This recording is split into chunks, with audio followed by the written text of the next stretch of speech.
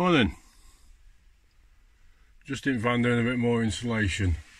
Not not done much to it in a while. So just showing you what I've done. I don't buy that stuff. People buy it as an insulation. It's not an insulation.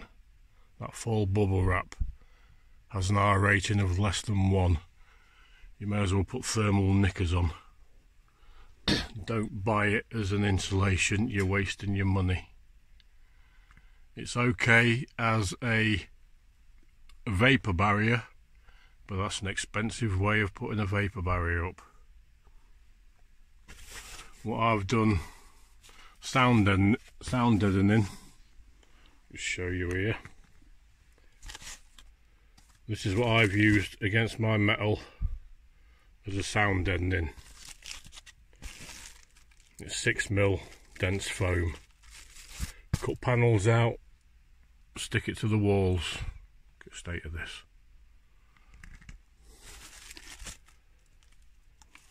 Those are cut out as a sound deadening. But my roof is fully covered in it. You see that bit there that's dropped down. There's a section at, the back in the middle there that's going to come out because I've got a skylight to go in. So today I'm just insulating this section. And I've just done this section. So on the roof, there's that 6 mil, six mil dense foam, foil backed. Now they're yoga mats. 3.99 from B&M. That's all they are. I might have used five. Then the walls and ceiling is the recycled plastic bottle fleece. B&Q do one at £16 a roll. This is the Dodo one, which is £33 a roll.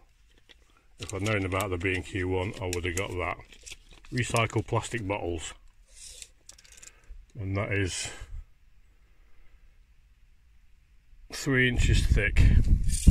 That's in all the walls. In the roof, I've split it down by half. Because I've got that, an inch and a half of that, and then cover it in foil bubble wrap. I'm only using this because it was given to me, so it's cost me nothing. Otherwise, as a vapor barrier, you can just buy decorators dust sheets, plastic sheets, get them off eBay, 99 pence. That's your vapor barrier. That stuff is a waste of time. Don't be a sheep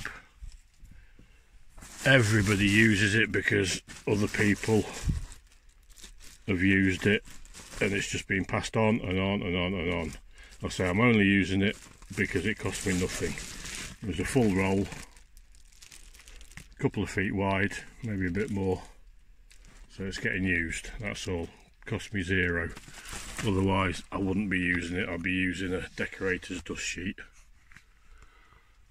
So yeah, ceiling there, there's a layer of that against it. That's a sound deadener and an insulation it's a dense, dense foam. It doesn't come like that, that's just me ripping bits. Foil backs, foil side down. Then the Dodo, recycled bottles, and then that. And then it's going to be tongue and grooves over the top. So I've done this this morning. This has been up a while this foam stuff. So that that one there is that one. That's against the van metal. And then I shall cut these to length, split them down the middle, tape those up and tape that over the top. But I'm only going to do this section here for now. Done this front section, doing that section as I say, there's a that back section there's a 400 mil roof vent going in.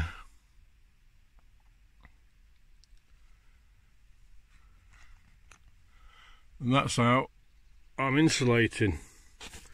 I might be wrong but I think I'm right. Don't buy that as an insulation rubbish it's good as a vapor barrier. Nothing else, but it's an expensive vapor barrier. Right, I'll do. it's a mess in here, I've got to get stuff done. That's the box for my wires for me. Solar. Didn't realise they did them in red. I've got a red van, so I've got a red one of them. Only six or seven quid. People wonder what that is. It's a sand scoop for metal detecting on beaches. So yeah, this is nicely insulated. I've got a, a beam there, beam there metal beam and that one which the tongue and groove will be screwed to. I've got that beam there. I'm going to get a ply to cut shape. I'm going to put a couple of screws in and Sikaflex to that. Um, and then the roof boards are going to butt up to it. And then I'm going to finish the joins with something nice and natural. Solar panel I've got uh, I've got electric but I'm on split charge relay to my leisure batteries which are all down there that's my inverter. Where's my remote? There's my inverter.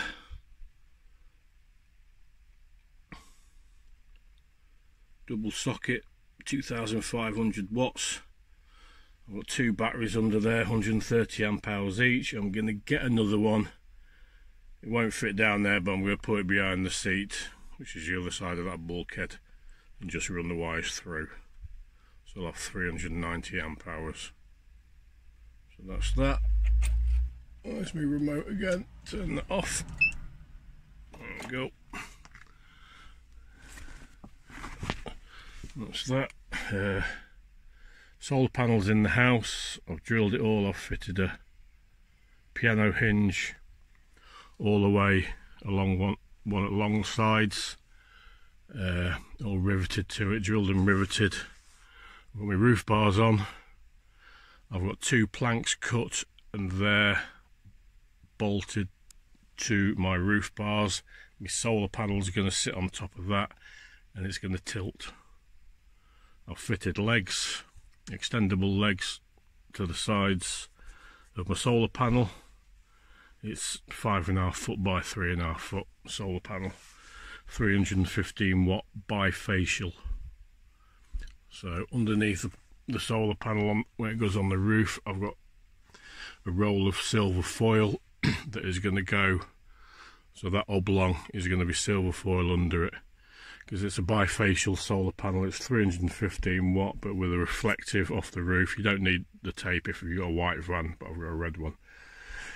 So I'm going to put the tape down and the reflective coming back up again can take my solar panel 315 watt solar panel to 400 watt. Uh, that's in ready to go on. Right that's your lot. I am going. I'm going to crack on. Catch you later. Have fun. Stay safe. Bye bye